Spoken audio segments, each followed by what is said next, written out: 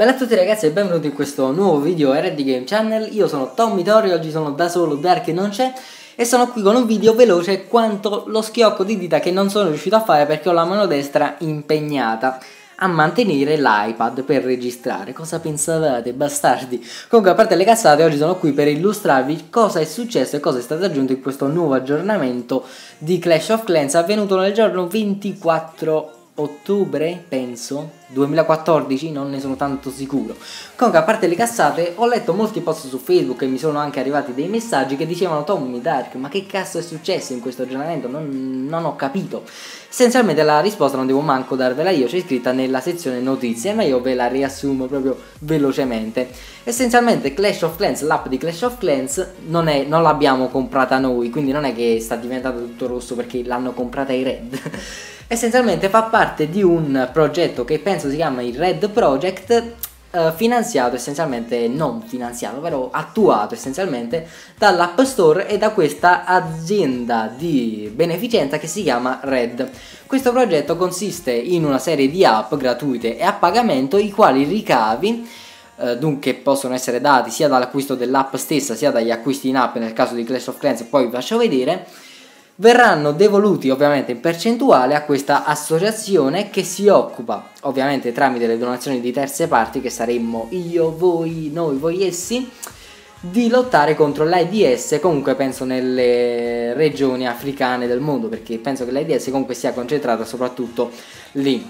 Dunque sintetizzando in Clash of Clans che caso è stato aggiunto questa cosa qui, la pila di gemme è diventata rossa. Infatti qualora andreste a comprarla 4,50€, questi 4,50€ verrebbero devoluti,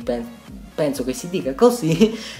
al 100% a questa azienda che si chiama Red e purtroppo non siamo noi, cioè mi piacerebbe sul serio, cioè, probabilmente ora sarei già alle Hawaii, ai Caraibi, insieme a Dark in un hotel a 8000 stelle, probabilmente quell'hotel me lo, sarei, me lo sarei pure comprato. Comunque, a parte le cazzate, prima di chiudere il video, vi dico anche una chicca proprio così veloce, ovvero se comprate la pila di gemme, essenzialmente fate beneficenza, fate questa donazione, vi, la Supercell vi ricompenserà e voi sarete, starete pensando, ah cazzo delle gemme bonus, una cosa figa è una cosa figa più o meno. Infatti essenzialmente si tratta di uno scudo,